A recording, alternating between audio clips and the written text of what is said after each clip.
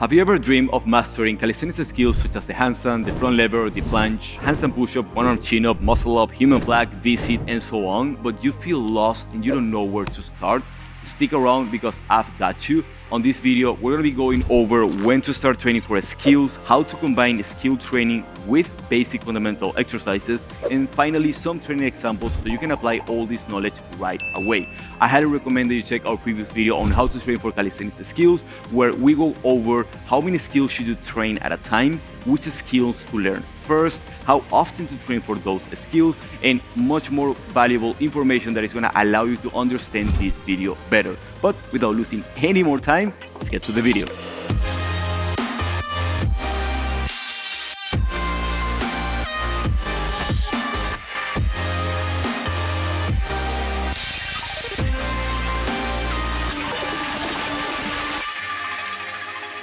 So when and how should you actually start training for your skills? Before we can even begin to talk about skill training, how to combine it with the strength training, adding mobility, adding handstand, etc., we need to make a very important point, and that is that you need to master the basics before you start training for skills. Even if you have fitness preparation, each of the fundamental movement patterns like the push-up, the dip, the pike push-up, the pull-up, and the row require a certain amount of time to be performed correctly and reap their benefits. And spending time there will never be a waste of time. In this video, I will cover how to combine basic with various skills, but please do yourself a favor and use your first year of your calisthenics journey to master these movements first. In addition to the compound movements that I just mentioned, this is also a time to work on fundamental stability positions such as top dip support, active hang, hollow body hold, and elbow plank. This is also a time to condition your joints with basic scapula exercises such as scapula push-ups, active to passive hang, and others. Each of the movements that I mentioned are skills in and of themselves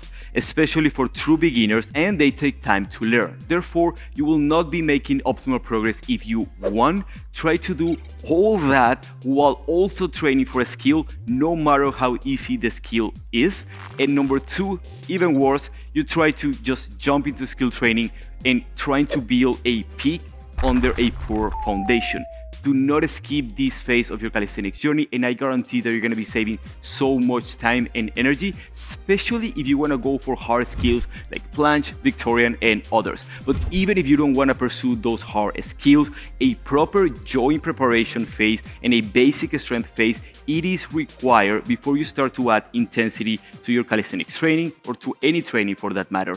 Let me know down below if you would like me to cover extensively how to arrange your training to create a strong base for calisthenics, but let's continue with the main purpose of this video, which is training for skills. Okay, so you've now built a strong base and you want to start training for skills. The number one mistake that people do is that, okay, basics have been mastered, so I'm going to stop doing them altogether and start my skill training. So we go from a workout that looks like this to one that looks like this. Big mistake. Why? In order to keep your foundation of strength and muscle mass, you have to keep doing some form of basics. Bent arm movements taken through a full range of motion will always be more effective for building and maintaining muscle than isometric positions. Number two is that when you start training for a particular skill, your endurance in that particular skill and the amount of work that you're going to be able to do is going to be very low. Meaning, if you suddenly go from zero planche training to doing five different planche progressions, you won't be able to keep up the good technique on all the movements, making your training unproductive. And lastly, doing only straight arm exercises can potentially increase your chances of injuries. Keeping some pull-ups around when doing front lever work, for example, and some dips when doing planche work, it's a smart idea. But Gabo, I see all these advanced athletes only doing planches and lever. What's going on with that? And I'll get to that in a second. But before, let me share what I recommend for the majority of us mere mortals. And that is that, let's say that on the first year of your calisthenics journey, you've been doing only basics, as it should, then you decide to train for the planche and for the front lever. You're going to pick only one single progression for each, let's say planche lean for planche and inverted hang for front lever, and you're gonna add it to your training. So we go from 100% basics to around 80% basics and 20% skills. So now we go from a workout that looks like this to one that looks like this. Then as you get more advanced, you can add more progressions in exchange for basic exercises. So now we went from something like 80-20 basics to skill ratio to something like 60-40. In this way, we're building a smooth transition from fundamental exercises to skill training. Keep in mind that we're only using one single workout as an example currently, but stick around because we're gonna dive deeper on different combinations at the end of this video. Okay, so what about the best athletes in the world that only do statics? The thing is that they also do basics, but with a much higher intensity and with a higher degree of specificity. Instead of doing push-ups, they are doing planche push-ups. Instead of doing rows, they're doing front lever pull-ups. Instead of doing pike push-ups, they are doing 90 degree handstand push-ups. They are still doing bent arm movements and that is why they can keep their muscle mass, their strength and not get injured. I have talked with countless of world champions and they either combine their skill static training with planche push-ups, front lever pull-ups, etc. to maximize specificity of training or they combine it with fundamental movements at a higher intensity like weighted pull-ups and weighted dips. In short, regardless of your level, bent arm movements are going to be key for the longevity and progress of your training when pursuing static skills. Now, when it comes to bent arm dynamic skills like muscle ups, handstand push-ups, and one arm chin-up, it's a different story, since you will be very likely doing a lot of bent arm work to achieve those skills. Now, how much skill work and how much basics are you going to do is going to depend on many, many factors, but here are the two most important ones. Number one, the more advanced the athlete is and the stronger the base, the more skill work he or she will be able to do. And number two, based on the individual weaknesses of the athlete, some will need to spend more time on basics and complementary exercises to keep solidifying their foundation. I hope you can now see why mastering the basics is so important and why we say it so much is because if you don't, you're gonna have to be juggling too many balls at the same time instead of actually putting all that energy into mastering the skill that you want to achieve. Now let's go to some training examples to make sense of all this information that we just shared. This is of course a huge topic in and of itself. I will have to make a video on each individual skill covering all the possible combinations that we have. If you want that, please let me know your favorite skill down below. But for now, use these training examples as what they are, examples. They are not pre-planned programs that you are going to follow exactly as they are and you're going to be making progress. If you're a member of our app, you know that every single workout and every single program is customizable to your level, needs, and goals. We teach you how to do that because it is that important. Apply the same to these training examples. Again, they are examples, not programs for you to follow. With that being said, we're going to be covering three methods of how we can mix skill training with basics using various skills as an example. The first method is going to be hybrid workouts. This is what I recommend for most beginners as we can do an ease transition from fundamental movement patterns into a skill training. You are simply going to choose one to three progressions of the skill that you want to achieve and one to three basic exercises and combine them in the same routine. Let's say that you have been training your basic movement patterns and its variation three times per week. And now you choose to work on your L-sit, pistol squat, and handstand. You will now swap some bent arm movements for skill work like handstand holds, pistol squat progressions, and L-sit progressions in this way, you keep improving on your basic strength while you work towards those skills. Also, feel free to add more days of training here, especially for handstand, given that this skill greatly benefits from a higher frequency. Now, let's see a similar example, training for the planche and front lever.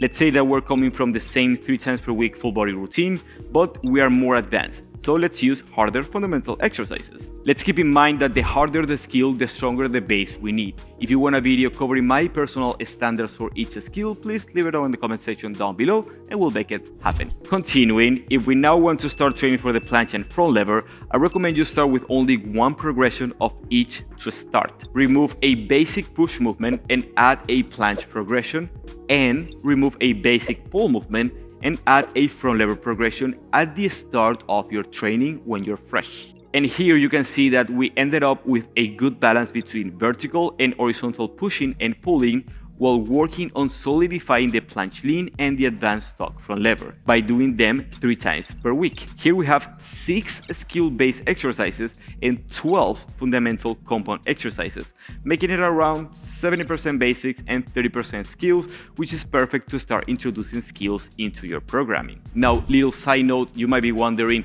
why planche lean three times per week instead of varying the planche progression, and that's my personal preference. I believe that a true beginner in planche cannot learn the planche lean properly only doing it once per week. So I highly recommend a higher frequency approach on a particular progression when you're starting out.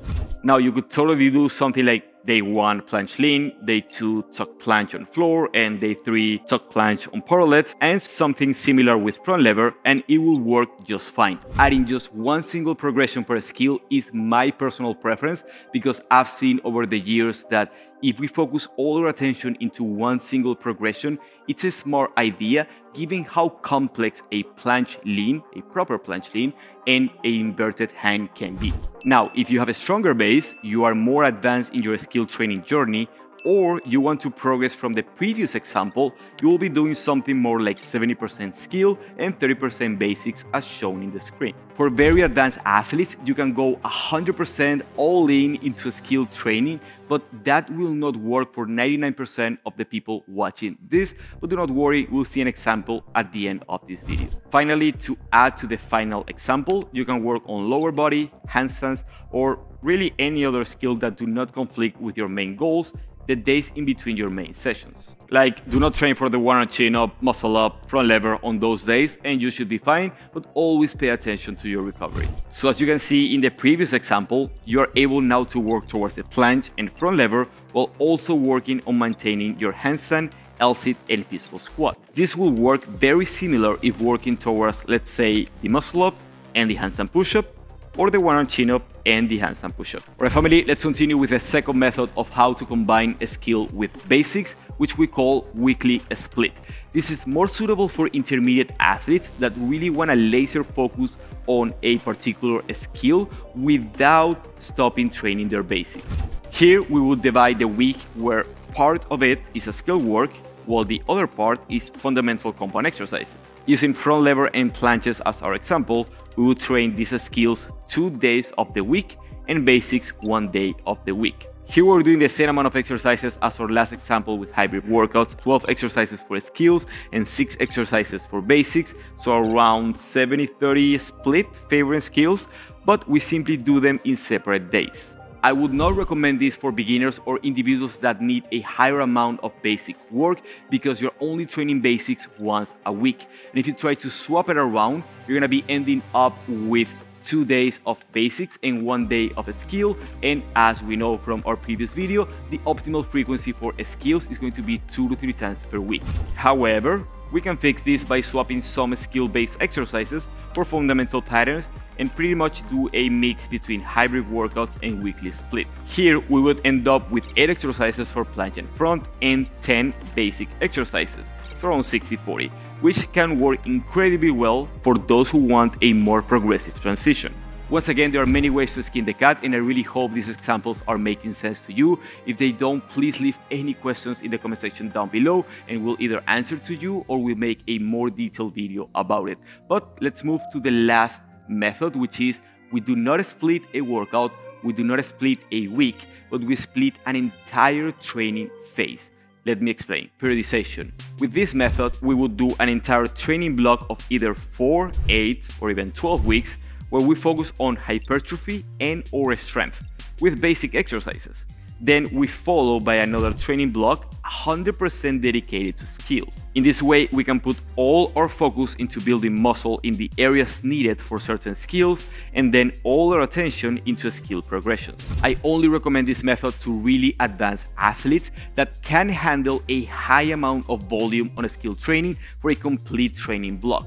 Usually, the athletes that try this method have already tried the previous two methods before. Let's use planche and front as our example here as well the athlete will do a training block of 4 to 12 weeks with a solely focus on building muscle and strength for those skills with basic exercises. It is important to choose exercises that will either grow the muscle in the relevant areas, front delt, chest and triceps for planches, lats, rear delt, traps and rhomboids for front lever, as well as exercises for a strength that will carry over to those skills. Here you can also work on scapula specific exercises like scapula push-ups for planche and connective tissue strengthening exercises like the Zanetti press, given that you have more volume to work with. After that, it is time to put all that muscle and strength created by specifying in the skills you want to achieve.